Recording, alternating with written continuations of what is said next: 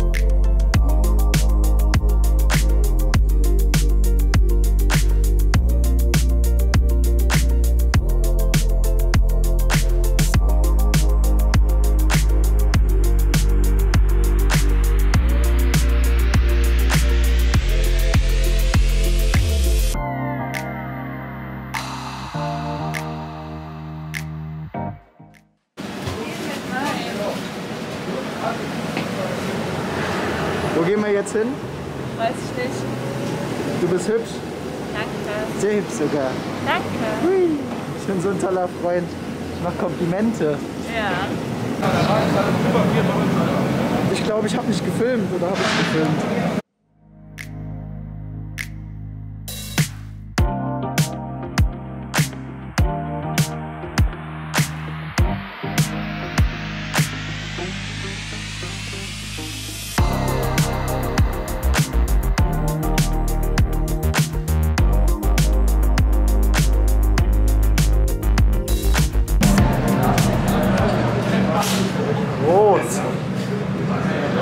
Natürlich sau ärgerlich. Ja, so ist besser. Mal, was? Guck mal, was man dann da sieht. Ja, das reicht doch, oder?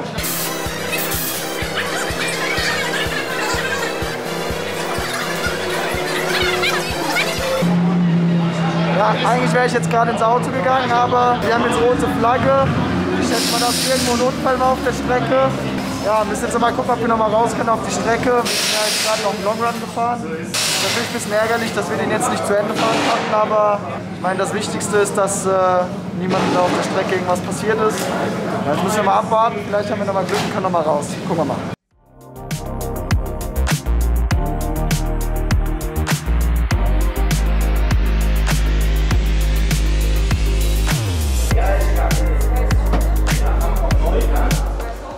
Hallo, willkommen zu Marek erklärt Rennautos. Red mal lauter. Ich kann nicht mehr schreien, sonst habe ich morgen keine Stimme mehr. Mach's runter. Soll ich kurz runter machen? Ja.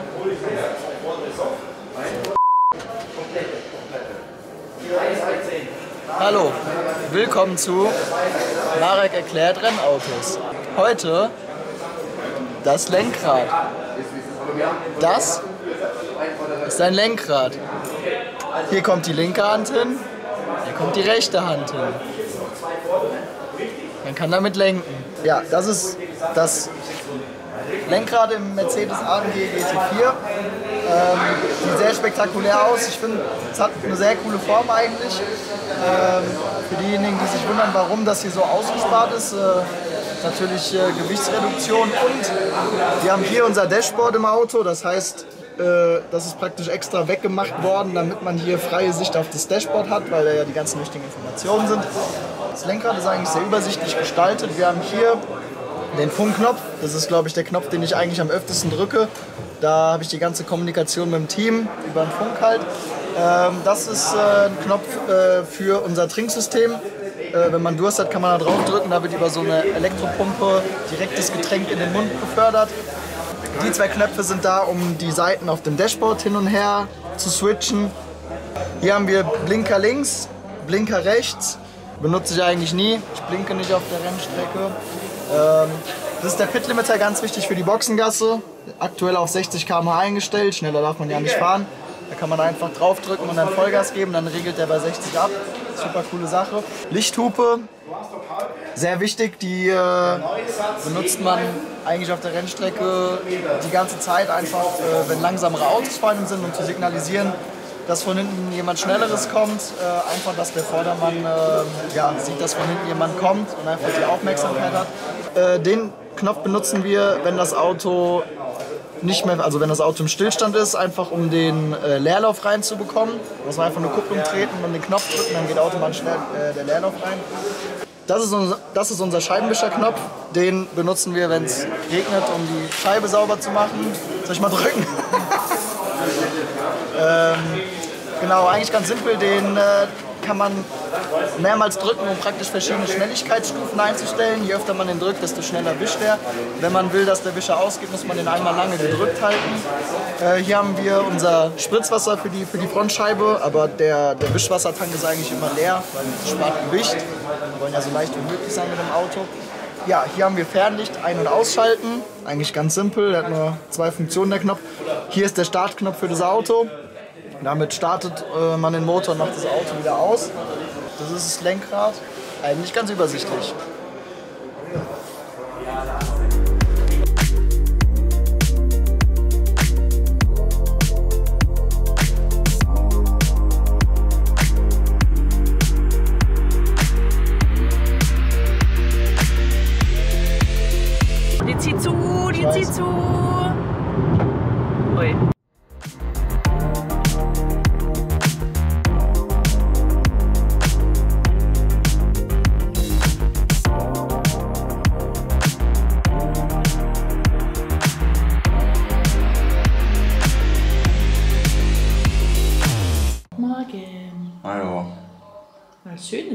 Achso, Packard wollte sagen, dass ich sagen soll, dass ich zu spät bin, weil ich zu spät aufgestanden bin, was aber nicht stimmt. Heute ist Samstag, heute ist Renntag. Um halb acht? Keine Uhr. an. Bisschen, bisschen sputen. Ja. Das passt schon. Um 8.20 Uhr muss ich im Auto sein und fahren. 20 musst du rausfahren. Wir haben 7.40 Uhr und ich esse gerade einen Teller Brot. Geil, ja? Alles im Griff. Was machst du? Hast du gerade reingezoomt?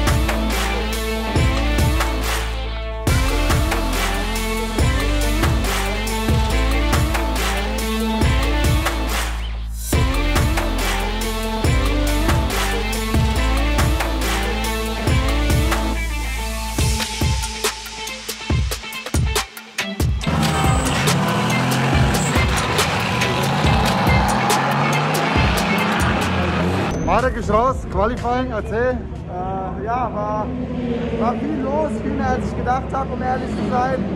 Äh, erste Runde war nicht ganz optimal, da hatte ich ein bisschen Verkehr. Äh, wir haben dann spontan noch eine zweite dran gehängt. Da hatte ich eine fast, fast perfekte Runde. Äh, habe nochmal versucht, wirklich alles rauszuquetschen, was ging aus dem Auto. Und ich äh, denke, die Zeit ist ganz in Ordnung jetzt. Also ganz in Ordnung, ist wieder leicht untertrieben von Marek. Äh, ich habe noch nicht genau recherchiert, also nagelt es mir nicht, hundertprozentig fest.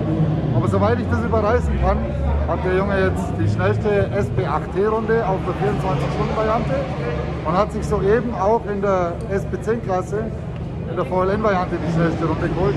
Ich glaube mit einer äh, 832,4 bisher jemals schnellst gefahrene Runde auf dem SB10-Auto. Also mal gucken. Wäre natürlich geil, oder?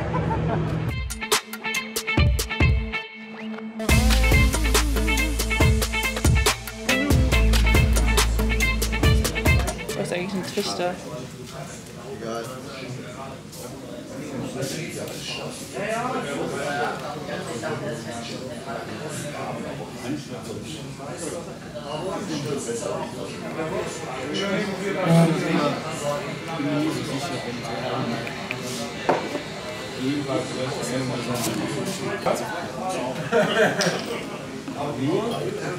Ich hoffe, die passt ganz rein. Das sind eigentlich 750.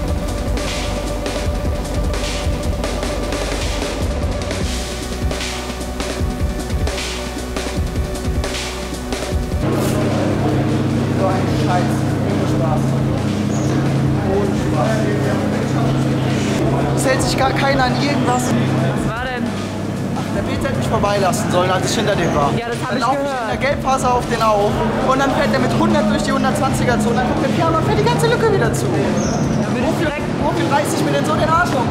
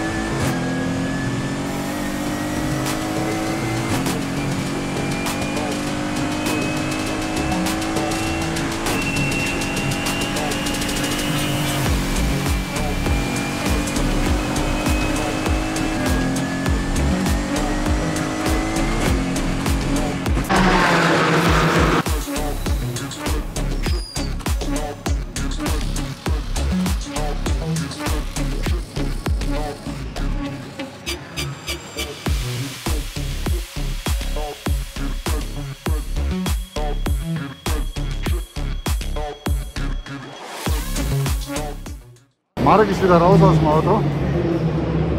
Bisschen abgekämpft, der Kollege. Was war- Minimal, Erzähl. minimal. Äh, ja, also wir mussten ja einen kleinen äh, Rückstand aufholen äh, durch, die, durch die andere Boxenstrategie. Ähm, ich glaube, wir waren so 10 Sekunden im Rückstand. Dann hieß es, ich muss die ersten zwei Runden ein bisschen die Reifen schonen, dass die bis zum Ende halten. Das hat äh, auch genau so lange funktioniert, bis ich das Auto vor uns gesehen habe. Dann bin ich nur noch Limit gefahren, alles was ging. Äh, aber ich glaube, es war okay. Er ist in die Box abgebogen, da war ich wirklich an der Stoßstange dran. Also ich glaube, wir haben wirklich viel Boden gut gemacht. Jetzt bete ich darum, dass wir es irgendwie auf weit ins Ziel retten. Ja, absolut brutal. Also ich habe gesagt, äh, Hitchcock kann so eine Nummer nicht spannender machen. Äh, brutal und vor allem der Timmy ist jetzt im Auto, dem geht es richtig, wie der Peter gesagt hat, Code Braun jetzt. Ja, der ist jetzt zwar vorne, aber der muss es auch halten. Der Schrei von hinten macht richtig Druck. Das wird jetzt mega spannend. Ich glaube, heute, heute haben wir uns ein Bier verdient, wenn es vorbei ist. Zwei.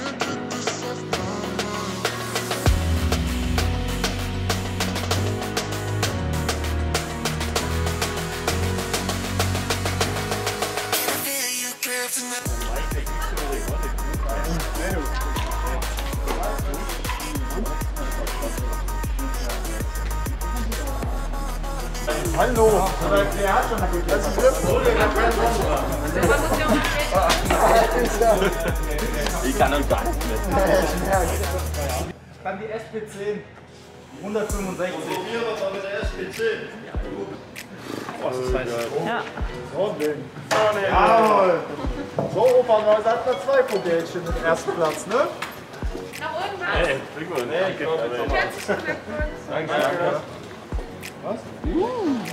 Oh, der ist so hell, der Blende. War das blendet.